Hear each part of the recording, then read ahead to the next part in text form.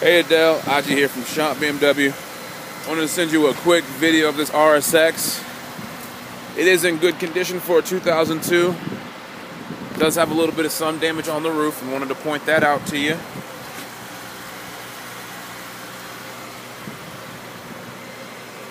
Very clean car though. Um, a little bit more sun damage here on the trunk.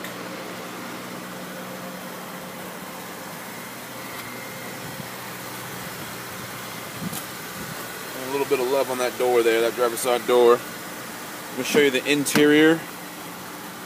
Now this driver's side seat does have a few issues.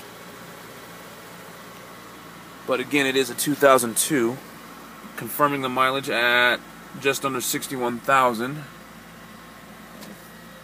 Very clean, smells good inside of here. Passenger seat is still in really good shape. And the seats in the back are in really good shape. Let me know if you'd like to come down and check it out. Aji here from Schomp.